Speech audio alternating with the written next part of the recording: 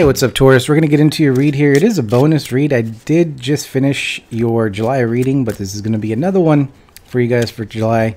Your last reading there just didn't really, I mean, it was just, I felt like there was some drama, conflicts, um, you know, something here that you're walking away from.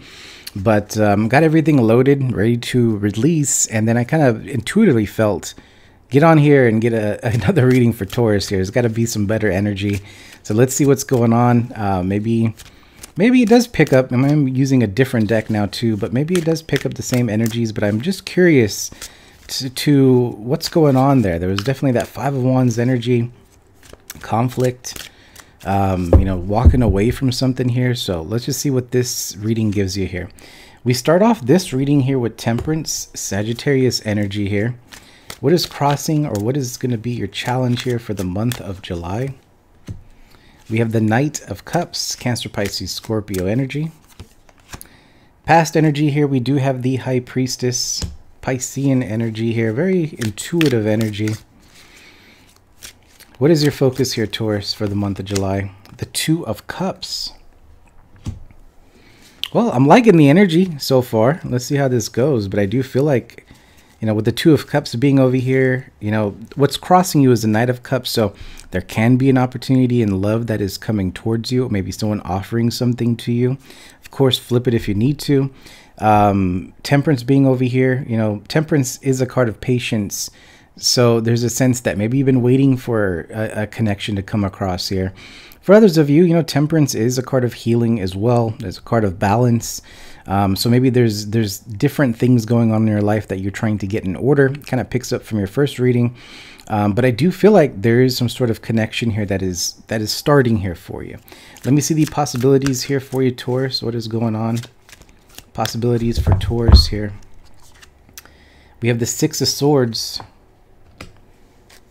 I mean, there is someone coming in here. I mean, there, let me see the near future though.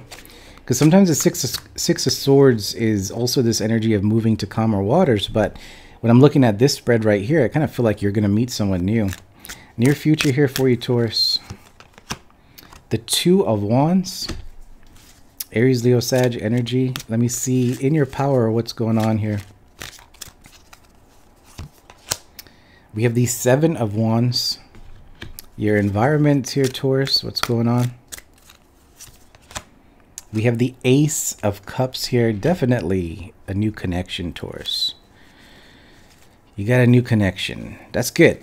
Definitely a different energy from your first one here. So, I mean, not to say that, you know, it was a energy I was just kind of pulling for July and that last reading just wasn't um, wasn't feeling feeling right. So here I feel like this is this is somewhat a love reading here for you guys. I, I do see you guys meeting someone new or at least if you guys are talking to somebody right now, excuse me, if you're talking to someone right now, I do feel like there's someone here with that Knight of Cups too. Um, it not necessarily doesn't feel like someone's expressing feelings and wanting to, you know, um, start something here. This can be someone here that is ready to get deeper into the connection, you know, taking it to a different level here, you know. Um, if you guys are single and looking for someone, definitely the energy showing that there is a new opportunity in love here with this Ace of Cups.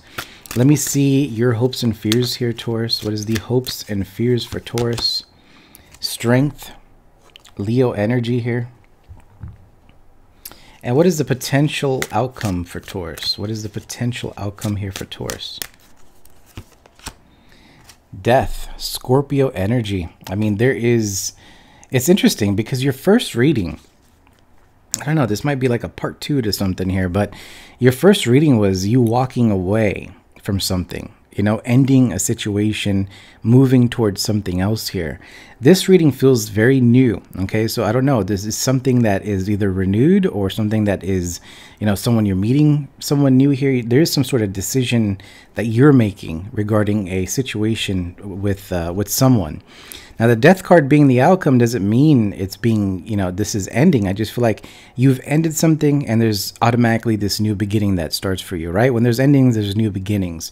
And I feel like you're ready for it. I mean, you do have these Seven of Wands in your power here.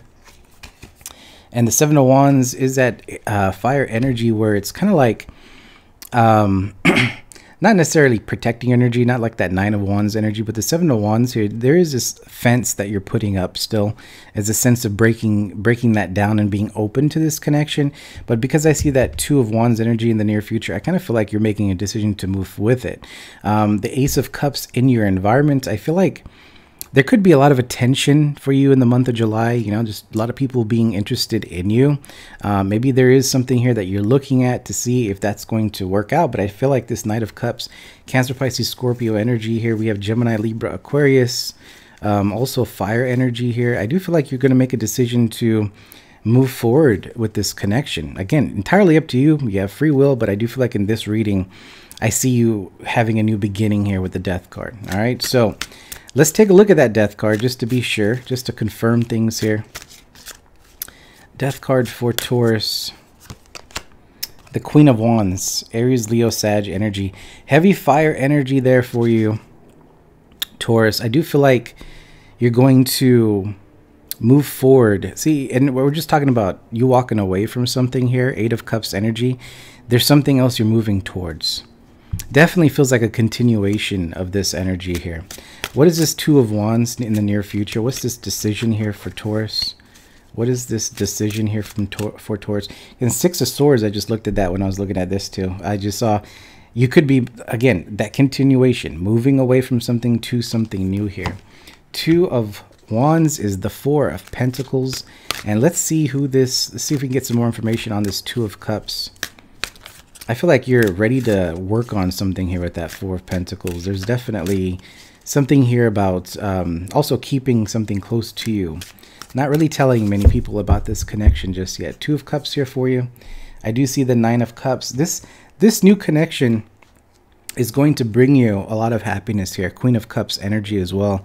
I mean, this is someone that is, um, again, feels very new, you know, if you did know this person, I do feel like there's, again, that renewal in the energy or something that starts off here for you. Um, but that Two of Cups brings a Nine of Cups energy, so it does bring happiness here for you. Um, I do feel like, you know, because the Knight of Cups is a challenge, it's probably because your Seven of Wands is in your power here. And so you've had this um, boundary, this this line here, not to open up to a connection. Maybe you've decided to kind of just go single, go independent, work on yourself, and maybe you've done that for a period of time, you know, and maybe you're starting to slowly shift and open up to a new connection, and maybe this is a connection that you don't expect. But this is a very, you know, the Queen of Wands is a very uh, attractive uh, personality. You know, the looks, the the way this person presents themselves um, with the death card being over here, like I said, I'll say it one more time. It doesn't feel like there's an ending to a connection. I feel like it's a beginning to a new connection here for you. Um, we also have a Queen of Cups energy as well. So I do feel like this person not only is a very attractive, very passionate, very adventurous, I do feel like they do have emotions. They know how to express. They're, they're not someone here that is um, you know, going to um, kind of linger you towards something and just try to act as if they they're interested. I do feel like this person's going to express what they want. They're going to be very straightforward to you, and uh, and that I feel like is what something you want to build on with this Four of Pentacles. Okay, so I feel like that's the Two of Wands decision. Anything else here for Taurus?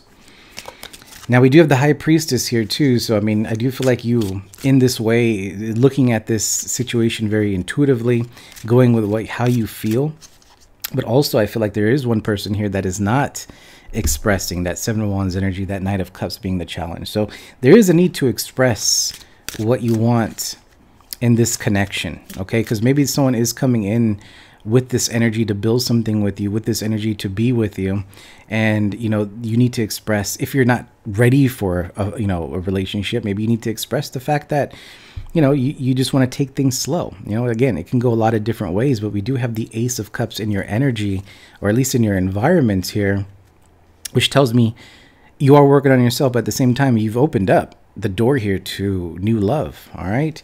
Anything else here for Taurus? Anything else coming in here for Taurus? Two cards. We have the world, new beginning here. And that just confirms that death card for me. And we do have the Four of Swords, so there is some time to um, you know you, could the four swords energy is about connecting with the divine you know maybe this is a connection that just comes out of nowhere. You know, maybe this is something that kind of throws you off a little bit. And maybe there's a sense where you need to take some time out to think because I do feel like that Two of Wands here is something that you. Um, you take some time to make a decision. It's not like something that's going to be like an overnight thing here. And then we do have Temperance. You know, that is a card of patience again here. All right. Kind of curious. I just want to see this Four Swords here the Three of Cups. So yeah, I mean, th this is something that um, could start off as a very light friendship. You know, someone here that you could be working with, or someone that you're already friends with. You know, in some way here. But I do feel like.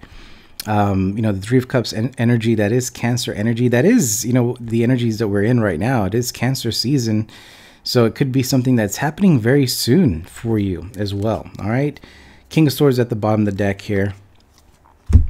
Taurus, I like this one. I mean, I do feel like this might continue from a from the other reading that I did, but I do feel like it's bringing you um, something better here because it felt like in the other spread there was a lot of success. There's a lot of things opening up for you, and I feel like this is uh, another energy to show you that you know we do have an opportunity for love for you if you want it. So that's what I see for you. If this does help or resonate in any way, please do hit that like button. Until next time, we'll see you guys. Have a good one.